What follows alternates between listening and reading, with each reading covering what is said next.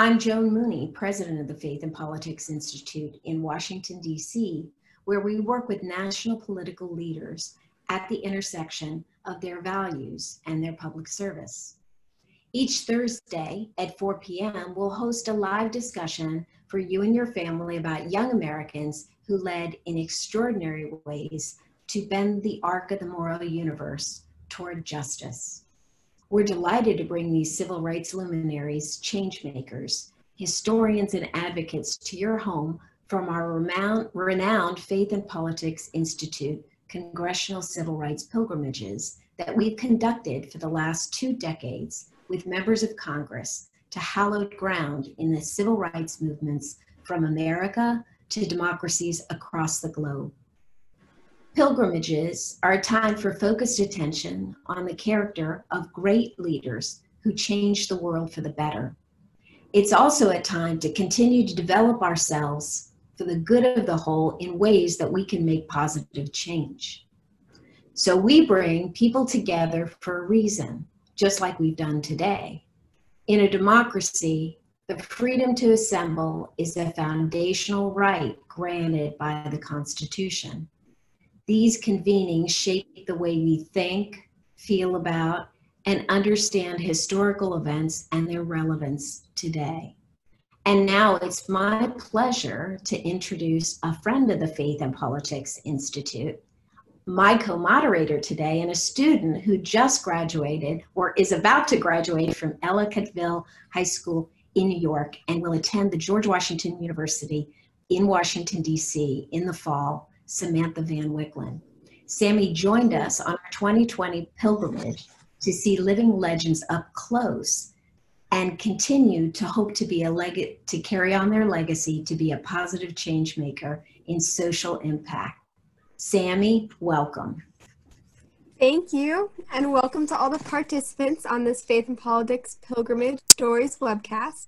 We are so glad you've joined us today and to meet and talk with someone who is a change maker as a high school student, someone who broke barriers herself and opened doors for others who came after her, and someone who continues to be a positive force for civil rights and human rights, Miss Minnijean Brown Trickey. She delights in sharing her past experiences and strategies for social impact with current young changemakers on Dr. King's nonviolent philosophy based on the teachings of Gandhi and Jesus. The Kingian Philosophy and the brave leaders and foot soldiers who used it made the civil rights movement the only revolution in American history that was won without firing a shot. Pilgrimage stories like Miss Minnijean's are both inspiring and humbling. They are inspiring because they shed some light on another time of incredible change and transition in American history. They show us how ordinary people made really extraordinary changes possible. And that's relevant for us today as we tackle new and old challenges alike. Through Miss Minnijean's story, we learned that we have the power to make a positive difference at any age. What is humbling is that, in the case of today's story, we have with us one of the people who actually risked her life to make that change when she was in high school and who continues to be a force for good today. In March of this year, I was able to attend a con- congressional pilgrimage with my dad to Alabama. There, I met a great woman who was one of the group of, of nine African American boys and girls known as the Little Rock Nine, who integrated Arkansas's Little Rock Central High School in 1957. We recall that in civil rights history, the U.S. Supreme Court decided that segregated schools were unconstitutional in the 1954 landmark case Brown versus Board of Education of Topeka, Kansas. Miss Minnie was on the front line of young people who signed up to be the first to integrate Southern public schools that were previously all white the nine African American students originally attempted to enter the school on September 4, 1957, but were stopped by the Arkansas National Guard called in by the governor. In response, Republican President Dwight D. Eisenhower sent 1,200 U.S. paratroopers from the 101st Airborne Division to assist the Little Rock Nine in entering the school. On September 25, 1957, Brown Trickey, along with the other eight students, desegregated Little Rock Central High School. Despite the troops being stationed at the high school throughout the 57 58 school year, the nine African American students were physically and verbally harassed by their classmates and angry mobs of adults. We will hear about her story shortly. Today, Miss Minnijean speaks with students about social impact and the philosophy of nonviolent protest. She also had the distinction of being a presidential appointee during the Clinton administration as a deputy assistant secretary at the U.S. Department of the Interior.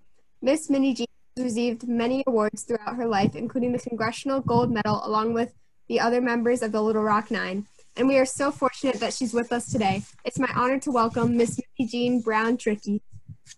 Thank you so much, Sammy. I'm pleased that you are the facilitator so we can really enjoy this. Of course. Good luck. All right. Tell My us- daughter just sent me a message, break a leg, and I said, okay. Tell us a little bit about your childhood before before you became uh, known to the world.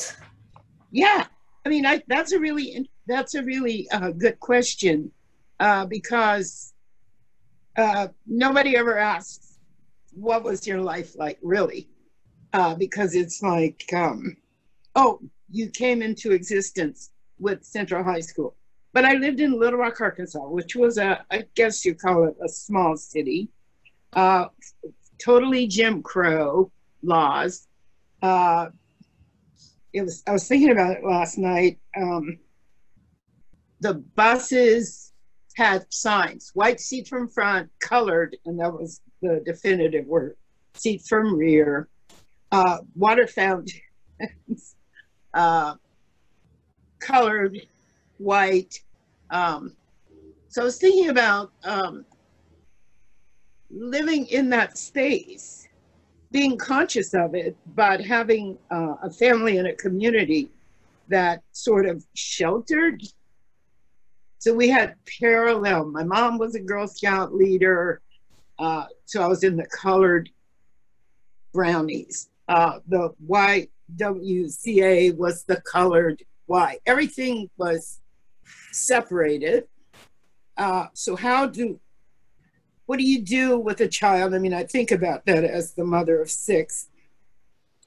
So my, I think my parents went overboard in trying to give me confidence. Uh,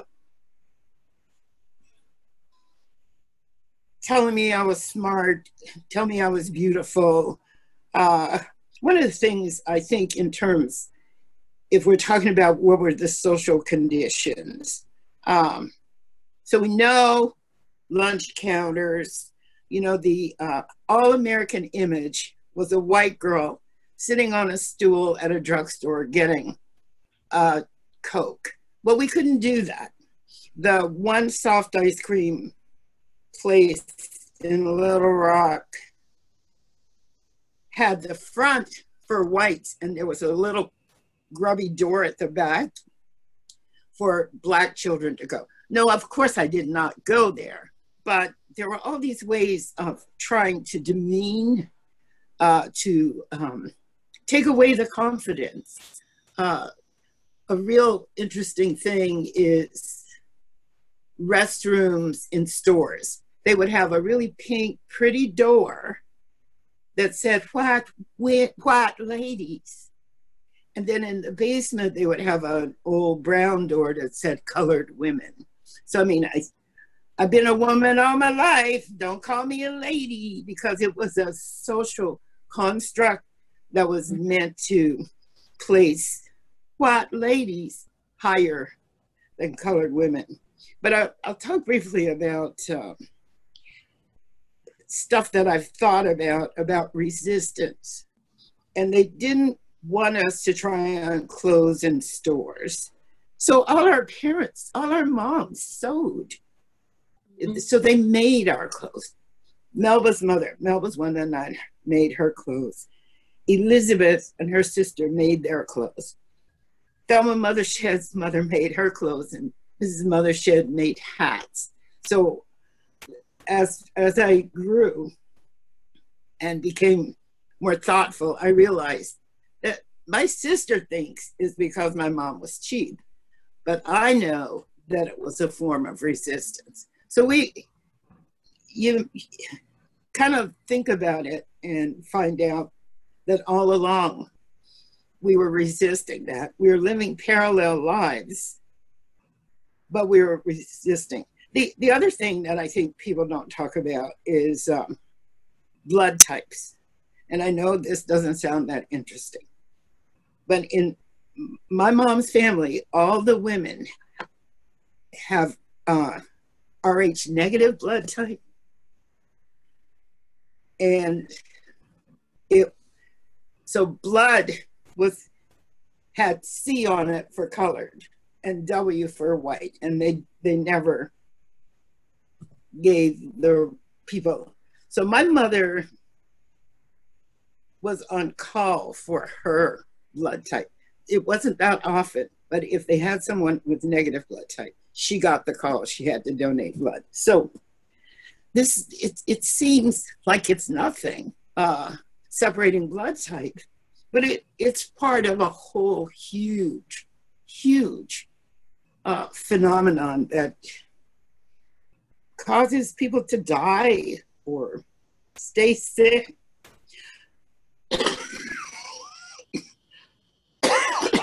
so just so I wasn't aware of those things then because I was silly and I wore those uncomfortable crinoline skirts just like everybody else. I read um, the magazine 17, no images of me. So you're in this very pathological situation and you can't, I don't think, so I was trying to think last night of course, I noticed. But I still had a really comfortable existence because I was protected by my family and by my some, somehow immediate community. So I, I I honor my mother for giving me confidence, which caused me a great deal of trouble, by the way. because I'm, as a black girl, I'm not supposed to be confident, not supposed to think I was beautiful, but I did, and it it kind of caused me trouble at Central, and we'll, we can talk about that later. So your com- your community, the community at home and in your neighborhood was very supportive um, supportive over overall for you growing up. Well uh, uh, the african methodist episcopal church is considered an activist church partly because it was founded in opposition to segregation long you know century ago centuries ago and it, so that was a good place. That was where many social activities. I wasn't religious then, I'm still not, but that was the social space uh, where things happened. I was in the choir, uh, did all kinds of things there. So, I mean, uh, Black communities at that time had a way of trying to support its kids. And despite the fact that all around us were horrible rules to prevent our access to just about everything restaurants, hotels, hospitals, everything. But I didn't know it. So that was a good thing. I felt pretty comfortable. I was in the colored Girl Scouts. Uh, yeah. So how's how's that for yeah. a sort of a? So that's so are we going now to? Uh, so so that's my young life and then my teenage life, right? So do you do you remember? And then I'll go to Sammy, and if anybody has a question, they can put it in do you remember when the Supreme Court decision came down? I do. I remember. So I think I was 13 at the time. So that's how that's how serious I was about it, right? Um, not very. I think uh, more than the Supreme Court decision was the killing of Emmett Till. Uh, Emmett Till was a boy who was killed in Money, Mississippi, tortured, and mutilated. And we were, he was one month older. Wow. Uh, and that was when I was, um, he was 14, I was 14. And that was what kicked into my consciousness about the real danger of racism. So, as much as the Supreme Court decision, I kind of thought, oh, so Central High School is this big, beautiful, most beautiful high school in America. So we'll all go to school together, and that's it. Sammy. But that, but you know, the city fathers were busy scheming, and they built a high school in the far east of the city, and they built a white school in the far west, and Central was right in the middle. So the black high schools used their stadium. So they had white sports activities on Fridays and black sports activities on Saturdays. So we were, it was right in the middle. It's this huge thing. So it's familiar, always in the view, always in consciousness, because three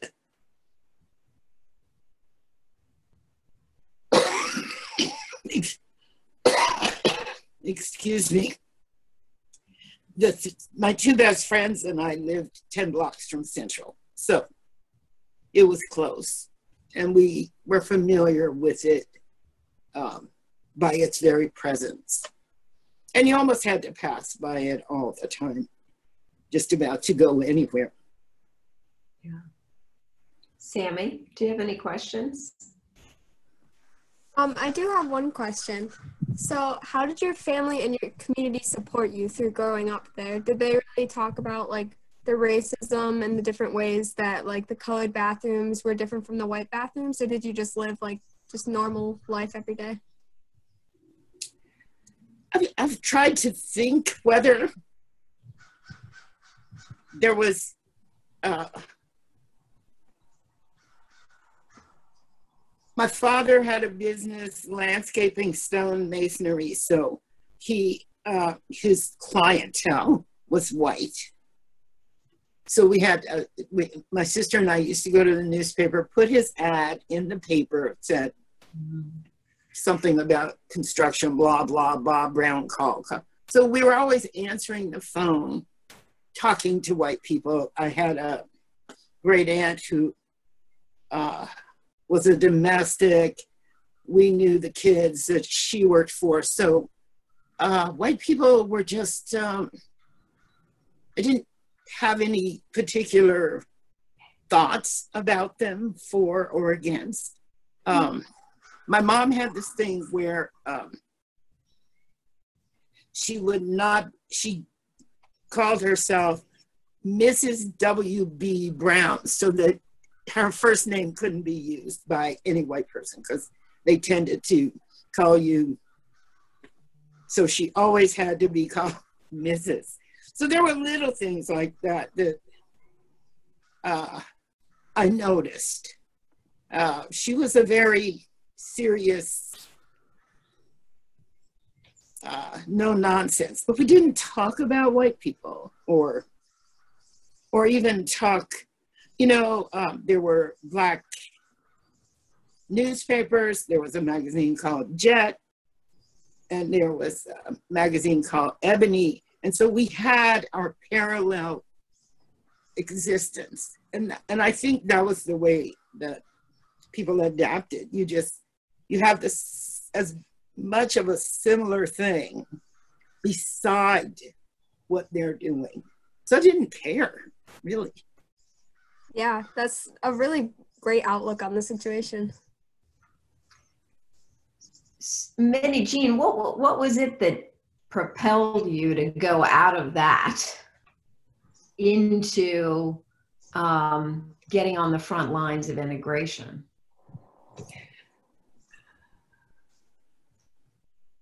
Well, it's as simple as in my homeroom, my homeroom teacher said, um, if you're interested in going to Central and you live in the district, sign this sheet. Wow. Boom. That's it. Um, first, if I'd never had any kind of violent encounter with anybody white, I did not have a sense of hatred toward them, nor did I assume they hated me. So when we, we talk about Central, it happened. But what was the minds? I mean, if I if I tell the truth, why did I sign up to go to Central? Is because Thelma, my two friends, and I could walk to Central, and we wouldn't have to take the the black school was way out of the way. There was no bus that went there, and you had to walk down a highway. To, it was made to be inconvenient. So we thought, oh, this will be easy. Hmm. And the other thing is, it was there. I mean, I think as a teenager, you can be naive enough to say, why not? And that's reason. I mean, that's that's how everything is. Uh, why not? So you and, you you you, you signed that sheet. When did you find out? How long was the time between when you signed up to when you found out you were going? How much time did you have well, to mentally prepare for it? Somehow, now everybody and his brother and her sister claims to have selected us. Uh, I don't, that's not really kind of how it went. Uh, but when whoever the administrators, principals, or whatever decided who they were going to discourage, that's really what they did. Uh, they said, had meetings, a meeting with us individually and our parents. And they said, there may be some cat calls, but you're not to respond.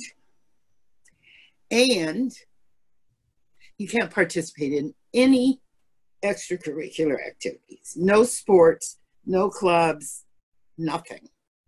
So I thought, hmm, I'm talented, I'm beautiful, I'm smart, that's going to go away in three weeks, right? Once I get there, they'll see who I am and that'll change.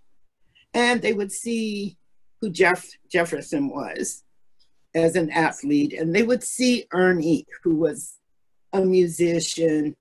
We were an amazing group of kids. Uh, they'll see this, and then we'll be fine. And there may be some you- cat when did you realize that wasn't tell us about you know sammy set us up into this wonderful story and you said you know i kind of went in with blinders on that this was going to be um you know things would change well what first of all i think with? we have to yeah. let's talk about the social conditioning that is part of the american uh, sort of way um, I lived in a segregated society, Jim Crow laws. I didn't have access, yet I was having to say the Pledge of Allegiance every day and sing anthems, and you're really conditioned. People tell you you're living in these conditions, and you're being told every day that you live in the best place in the world. And we're subject to that brainwashing.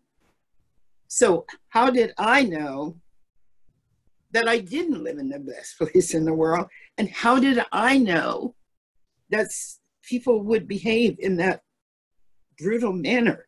There was no way of knowing that before it happened.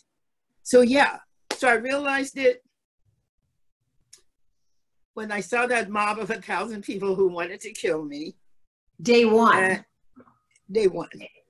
and the soldiers who wouldn't let us go in. So, okay, so much for anthems and pledges. That's it, over, done.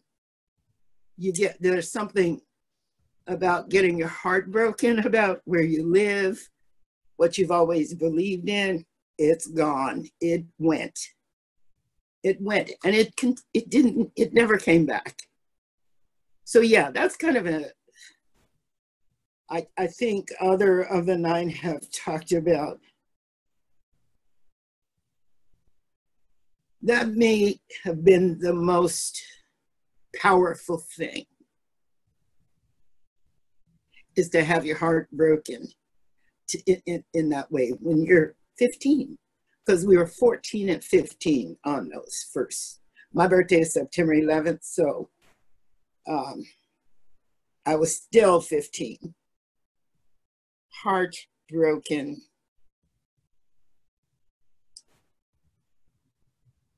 Never to be healed, ever. Because it's so powerful. I pledge of allegiance. Please. The, the brain, you know, you, it's not fair to do that to children. you're doing it they're doing it every day and kids are living in abject poverty and they're have no access to health care or any of those things so it's wrong to do that it's wrong to i listened uh, this morning to morning joe and he was saying he just wrote an article about american exceptionality and i'm thinking I don't know where you've been all your life, but I don't see it. So, Ms. Minji one one more thing about kind of that that first day, because this was before federal forces stepped in. So this is the Arkansas Guard under order yes. by the governor with what the governor is thinking. Yes. So what did what was your what was your sense of the people who were sent there to to protect you or guide you into the school did anyone talk to you well well it was three weeks before president eisenhower sent the 101st and that was because and so we're we're, we're this is the story is so complicated but the for some reason, the world press came to Little Rock. So on that day, September 3rd, our images went around the world. It was probably the first civil rights story that was covered like that.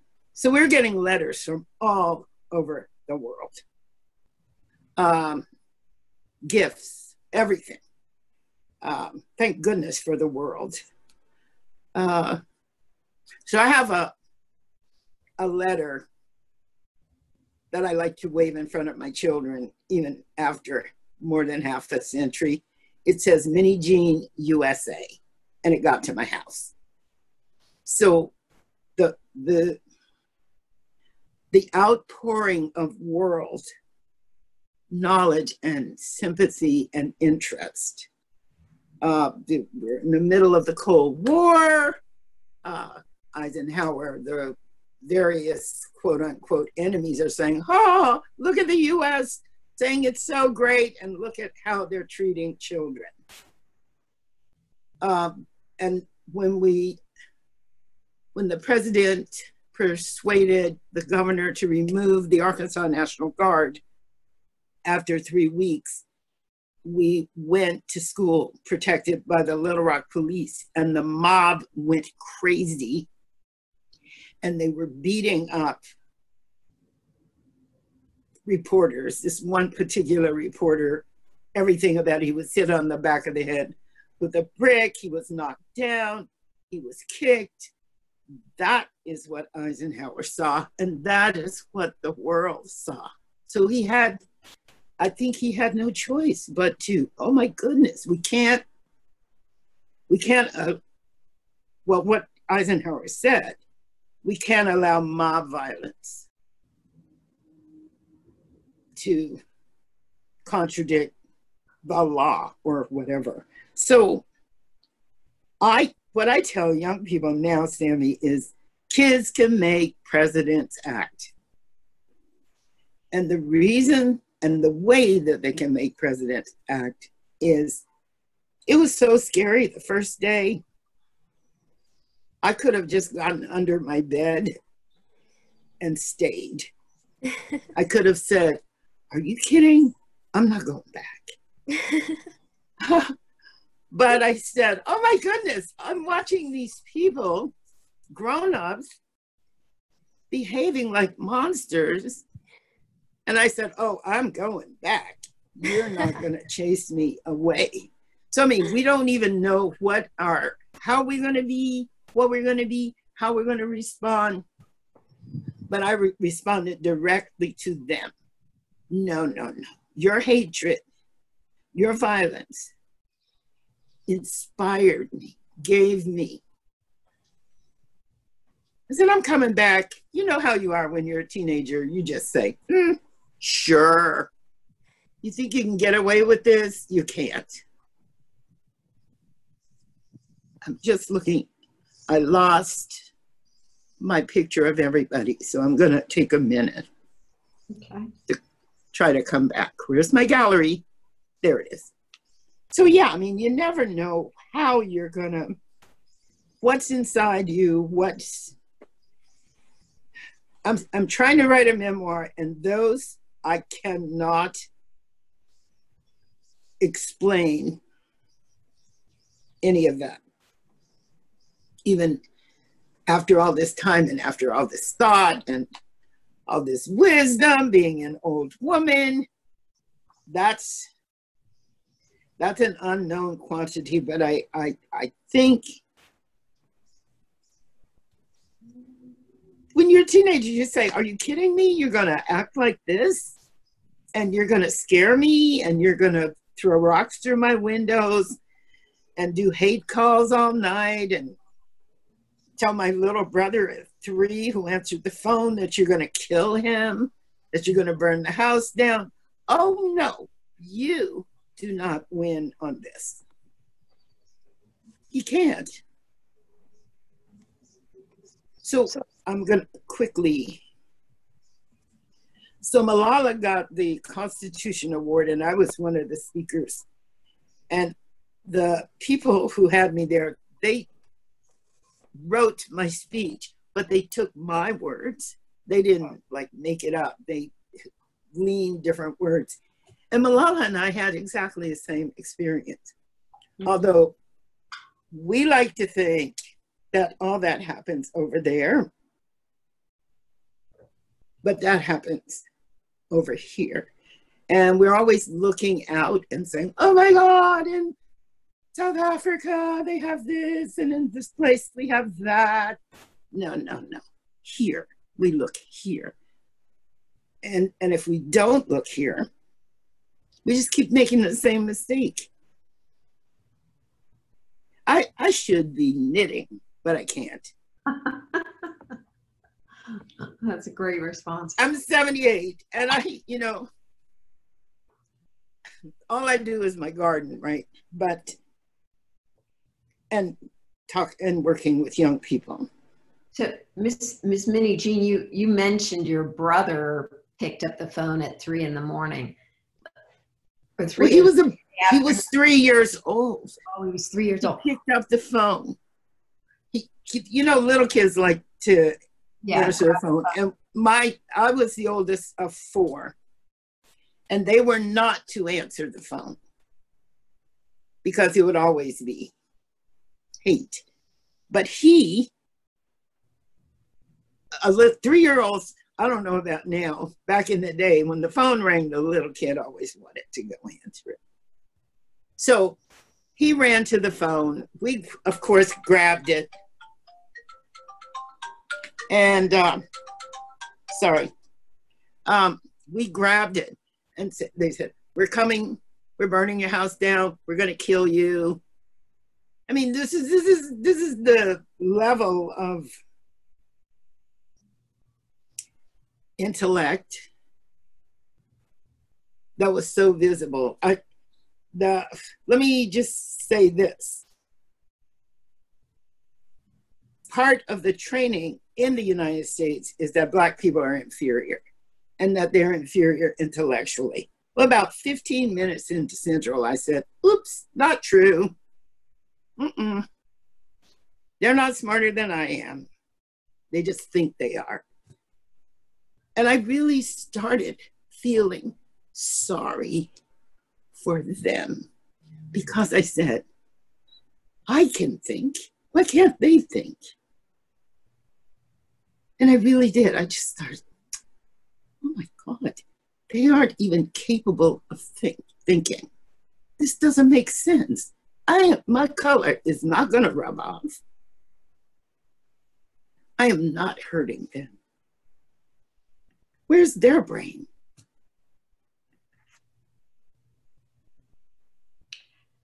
When when you were with the the how did how did the rest of the Little Rock Nine? How did you stay kind of in support of one another? And did you did you have any like high level debriefings at the end of the day, or get together after school to chat? What was the relationship there? Well, uh, we did a little bit with Daisy Bates, who was the uh, NAACP uh, president. But when I look at the photos of the Little Rock Nine coming out of Central, we are, if you, we, if you go to a gallery of the Little Rock Nine online, we're laughing. We're coming out of sheer terror. And Jefferson is telling jokes. And we we are laughing. And we're we're really i think we all felt that. You know they've been telling us we're inferior all this time. I think maybe they need to look at themselves so we're mostly laughing so i don't know that's another thing we didn't tell our parents what was happening because we didn't think I'm sorry, Sammy, to put you on the spot, but most of the time, so if I'm in a group of like 100 kids, I'll say, when I said I was going to go to Central, what would your parents say? So give me an example of what your parents would say. Hmm. Well, since my dad is watching this right now. Oh, gosh. nah, they, I'm sorry. I feel like if, if at that time period, I feel like my parents would definitely be very hesitant. I they definitely I'm their little baby. I'm an only child. They probably would have been very hesitant to send me, but they do generally support my choices in life. They do try and let me make my own choices and be my own person. So yeah. I would definitely be very scared. And I, I'm not sure if I would want to come home and tell them everything that happened that day. You can't. No. You can't. You have to protect them. Yeah. And they also didn't tell us what was happening to them. But the mm-hmm. answer that my mother gave and what and I said she said, We'll see. When I said I wanted to go to Central, she said, We'll see. Now this you sounds like something my before. mom would say. You heard that's it. That's the definitive we'll see. I mean, I, I you know, the it's all about normal, plain sort of things that people do every day. That's so, yeah. So, how did we do it? There was a lot of laughing, and we didn't even tell each other. Um, in uh, today's disclosure society, we would have been telling everybody everything, but you don't know how to do something that's brand new. You do it the best you can. So we didn't, it took us almost 40 years to tell, talk about some of the things. Now, Melba Pattillo wrote Warriors Don't Cry, and she describes she from her diary things that happened to her. But it was a, I don't know. I mean, I I'm able to cry now better than I was then because um, I honor my feelings. And maybe I thought that if I just let go, that I would lose myself in it.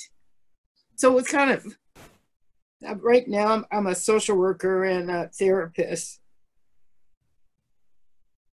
And I, in some of my training, um, there was a, an exercise that goes on over a few days where you go to your most basic emotion.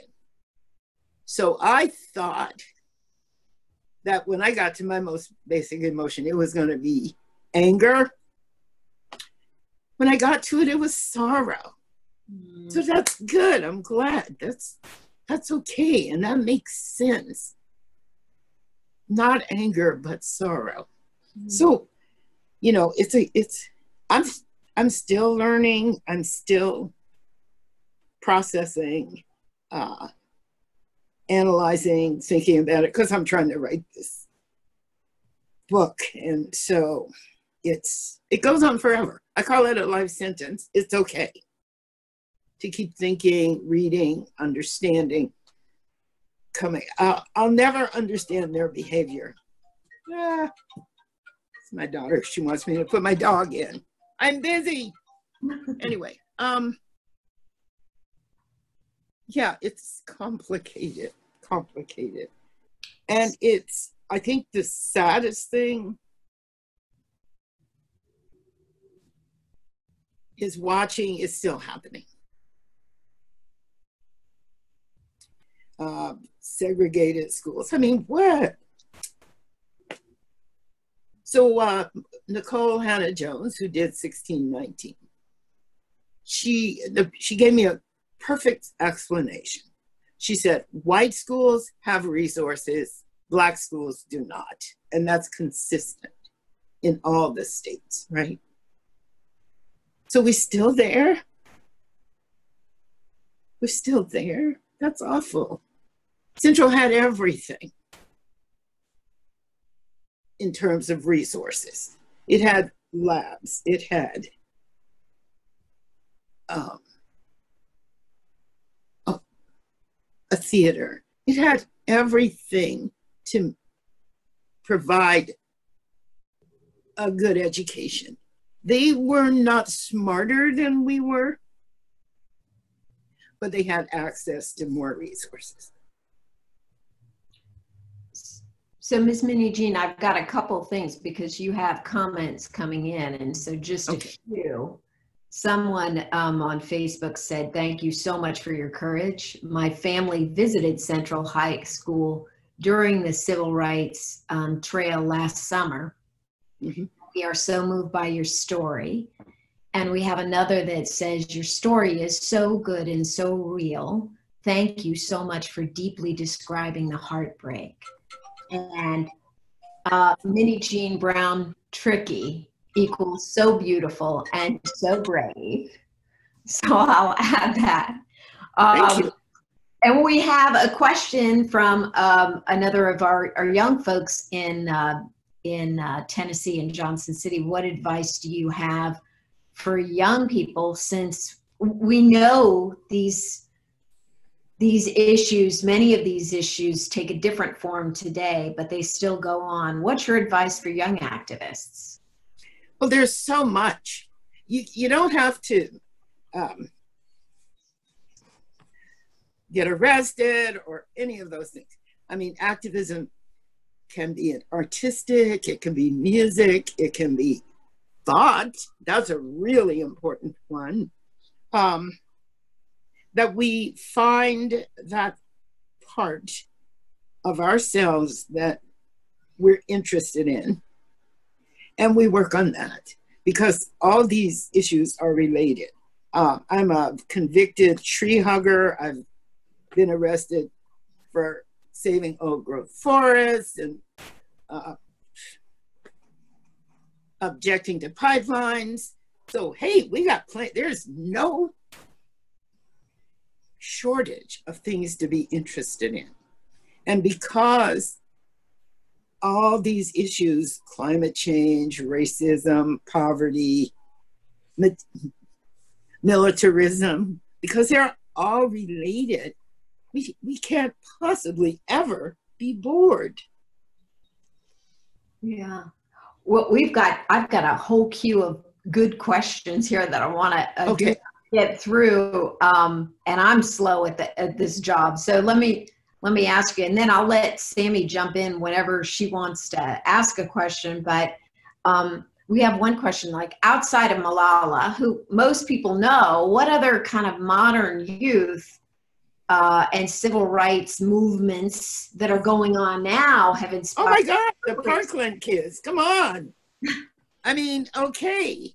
Um, the Parkland kids, I'm going to tell you that when we were at Central, we were accused, the nine were accused of being plants from the north, trained by the Kremlin, all kinds of crazy stuff. And so when I'm watching the Parkland kids and the accusations leveled against them, I'm going, oh my God, been there, done that. Keep going, okay?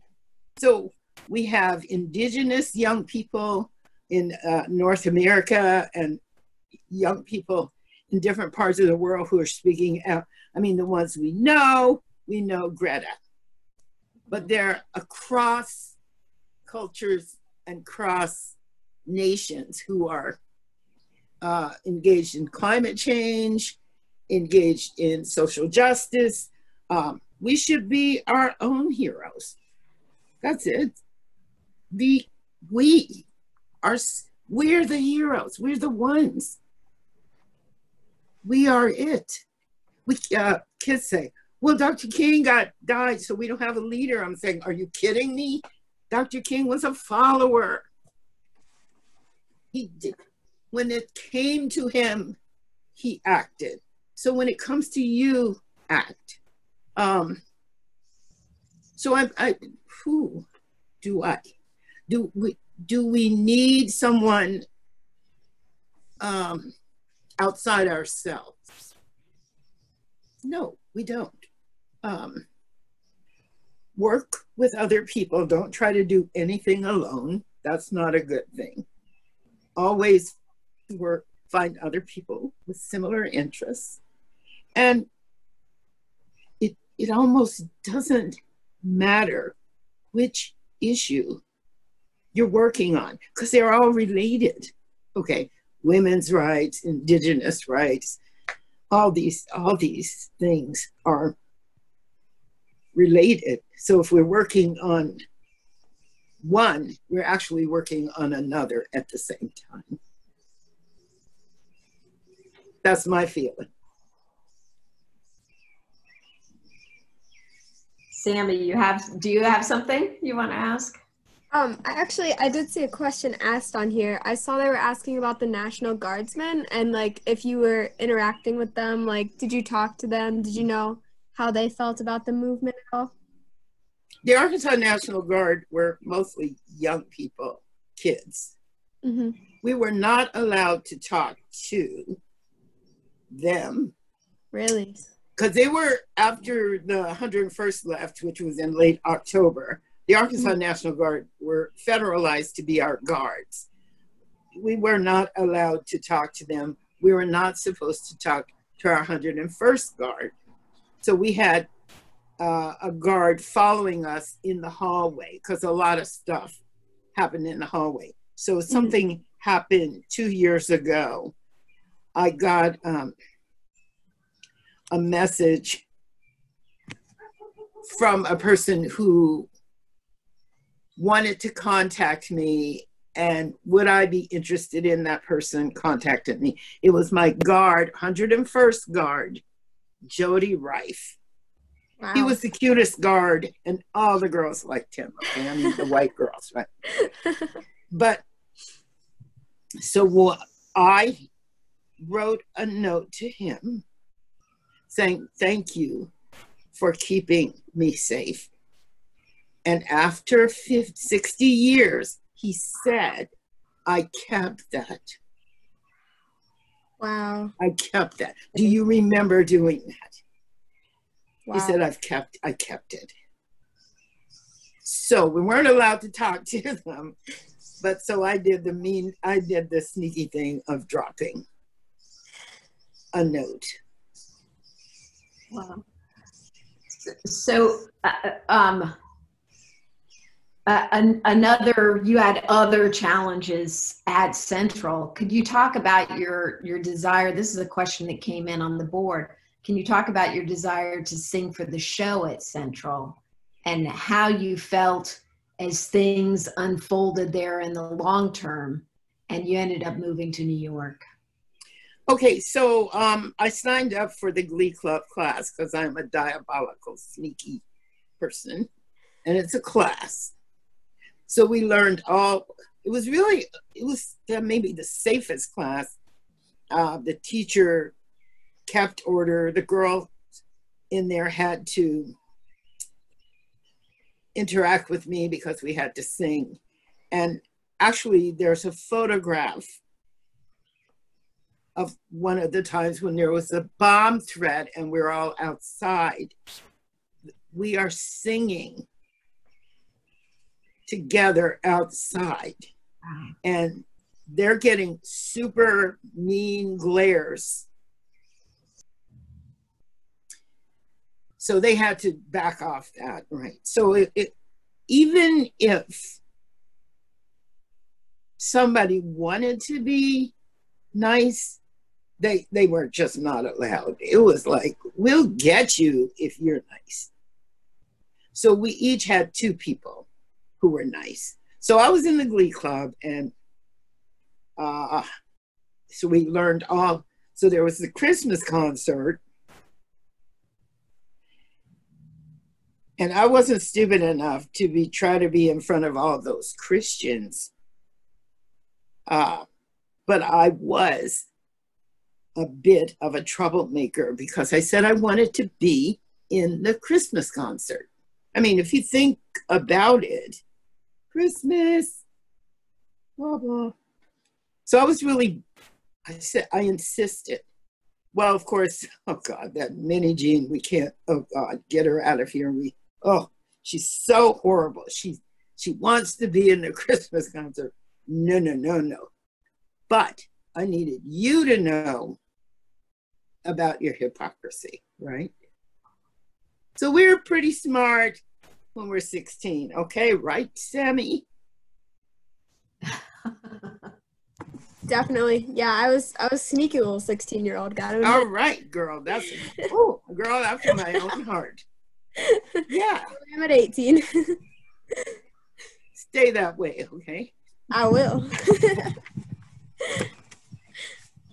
So, so the question came in too. Can you talk about how you felt as things unfolded over time there, and you you left Central?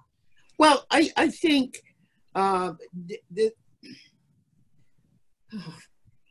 it's really uh, hard to explain, but I you know I kept feeling that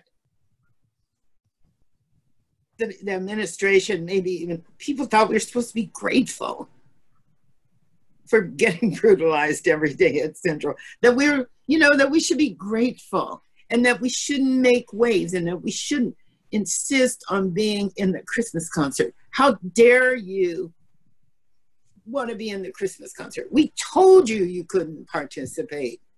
How dare you make these demands? So, I mean, I that was that's the kind of thing that'll brand you as a troublemaker. And you know, I I drove them crazy. I know that. Uh, by saying I want to be in a Christmas concert. And also, I drove them crazy because I think they knew that I felt sorry for them. Mm-hmm because I did. And I, I just, uh, drove, drove them crazy. So they were constantly, uh, I'll, I'll give a couple of one incident. I mean, so we had these strategies. We walked close to the lockers because some big bruiser would come and slam you against. So we, when we went back to Central after many years, we wanted to see if our bodies shapes were uh, in the lockers doors, right? And uh, so we couldn't put our um, books, we couldn't leave anything in our lockers because they would pee in the lockers or they would take out all our lessons. So we were constantly carrying all our books. And um, one of the coolest picture, yeah, anyway. Um, so uh, I, know what people are leading up to. They want to hear about the chili incident that um, in the cafeteria, we they I don't know how they divided the nine. Some some of us on one lunch and some of us on the other, and we're at a table in the back somewhere, as, just as we were in the classrooms, because we came in so late. And you always knew something was happening because the girls would just huh, be tittering and snickering and saying you're ugly and uh, so I didn't know something's up. I don't know what it is. I'm going to get back to that space for the color kids. And as I'm going through sideways with the tray, and as I go, the chair slam into me. And then I sort of step back and I go through again and tray slam into me and I don't know what happened. All I know is it was chili, bun, cutlery, milk, all of that. And it mostly went on these two boys. So, of course, to the girls' vice principal, and the one boy said, She didn't do anything. And they got him out of that room really fast. And then, of course, got me to lecture. Why, Minnie Jane, why did you do it? And I was it intentional or was it on purpose? And I said, accidentally on purpose because that's who I was. I could, couldn't help it. It was just the perfect question. So I said, accidentally on purpose. So I got suspended. Well, that was crazy.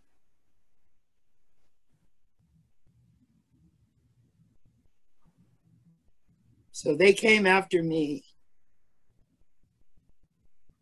They came after all of us. That's the thing.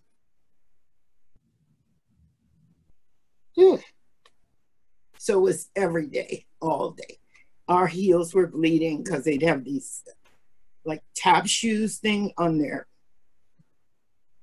and step on our heels. So uh, spit. When we went to assembly, every Thursday, bruises, because you couldn't tell.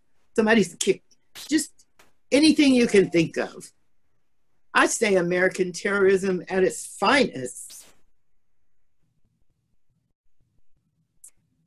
So the when the God, this is really when I I mean when I do this, it's kind of I I'm in the present and in order to talk about it, I have to go back there. So I'm in both spaces. When I go back there, I'm in it. Okay. So I guess the I was really getting very tired. I think we we're all getting really tired. And I think we thought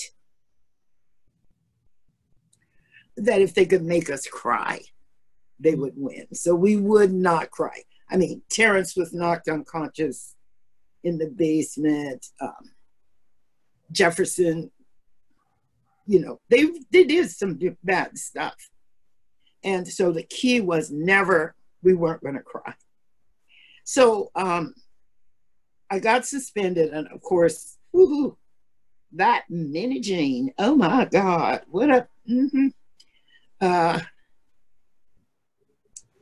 so I, I so the just before I got expelled, uh, five girls, when I walk in the door, no, I'll, no, I'll describe some other things. Uh, my mom was picking me up, picking us up. She was picking Thelma and me, because Thelma was my friend. And as I'm coming out of school, this guy gives me a, what I call a cartoon kick, the kind that sends you into the air, right? Knees completely. So my mother saw it, and oh my God, that was the worst thing. Because now my mom knows, oh no, this is this is terrible. You don't want your parents to know. I mean, and that's part of, I do a lot of work with bullying as well with kids. And the reason you don't tell is because they make you feel guilty.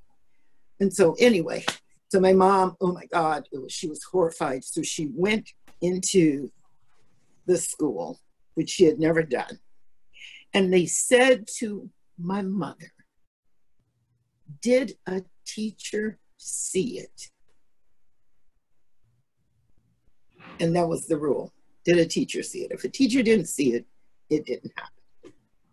Oh my God, she was so upset. Uh, she actually tried to charge him with assault, but the police would not do that. Um, so anyway, a typical, uh, so five girls following and stepping on heels and spitting and saying you're ugly and you stink and you're black and you're all, all kinds of other words.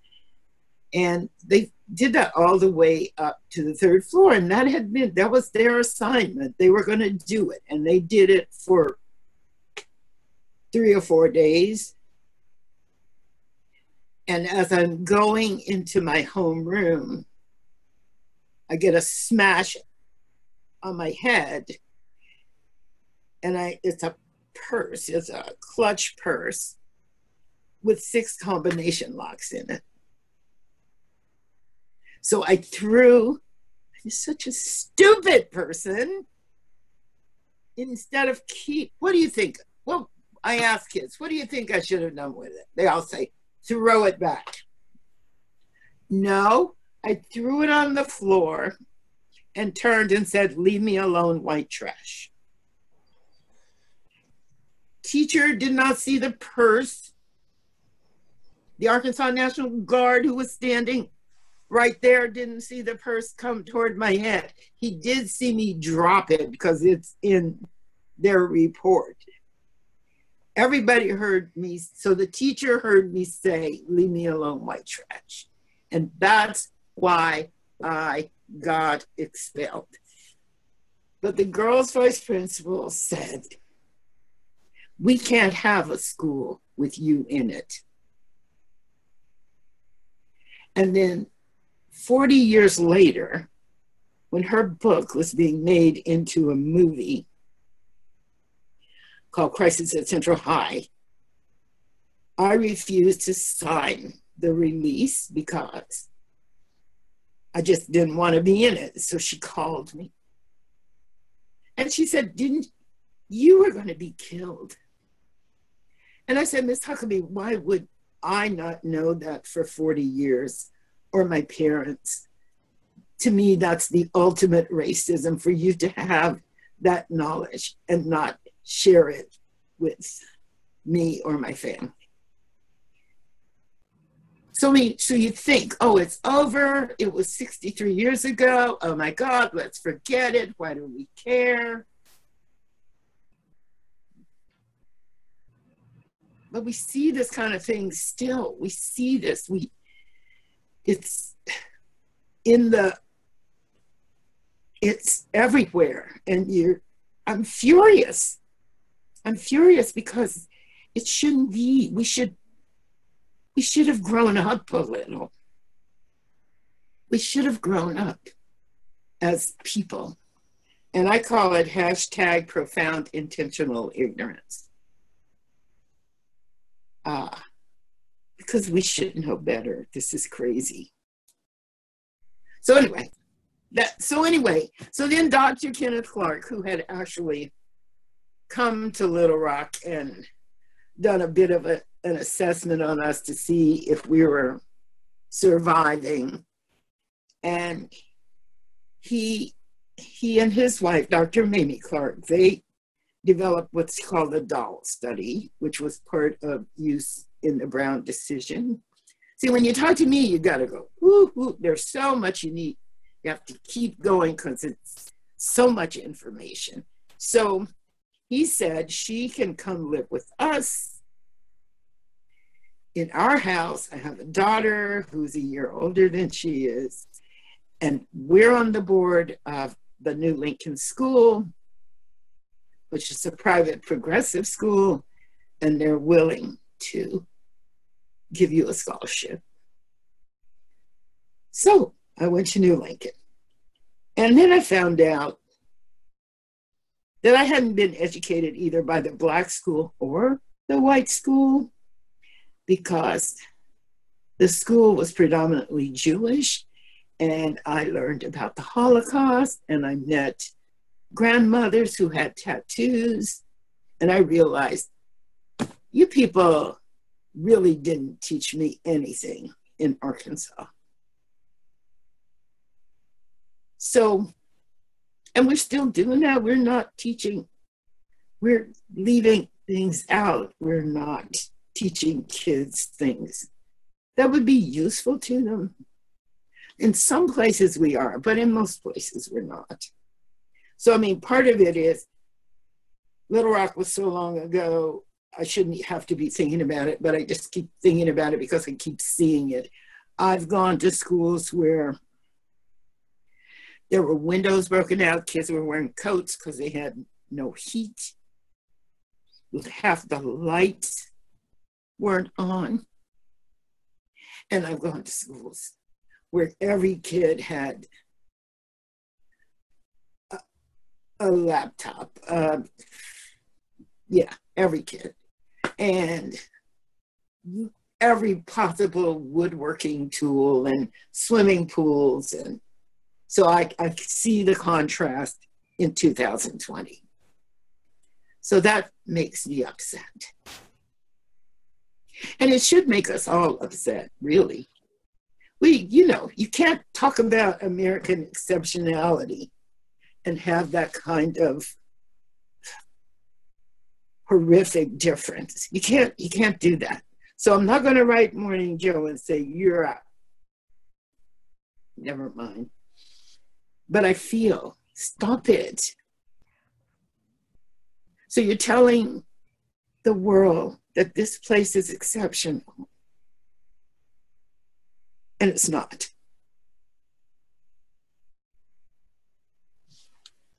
So, Miss Ms. Minnijean, I know we're we're over time, and we're getting so much. Okay. Um, and I think mine mine is un, unstable, and I don't want to stop you, but but we have some um, people commenting on the Facebook Live that the the stories that you've told are heartbreaking. That they love the fact that um, that you stood up for yourself uh, when you take it forward to um, to the years when you were finally recognized for your work um, as such a young person with the congressional gold medal and president clinton's accolades on you etc um, what what what was going through your mind when events like that happened you know 20 30 40 50 years later well, first of all, it took the country a real long time to see Little Rock. You know, the Little Rock desegregation crisis is not about me. It's a constitutional conflict. It's it's so United States history. It's about everything. And I've gone to the most some of the most expensive colleges in the country, and I'll say, how many have heard about the Little Rock? And nobody raises their hands and I say, you need to get your money back because you you haven't you aren't educated because this is such an amazing story about what the constitution is about how it works presidential power. You know, we're looking at some of this stuff right now.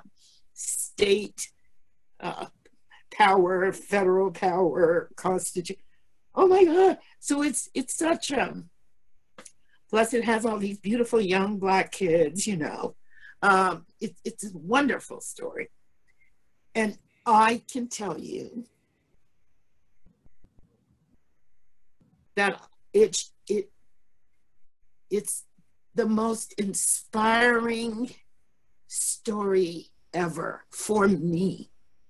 For me for me. It says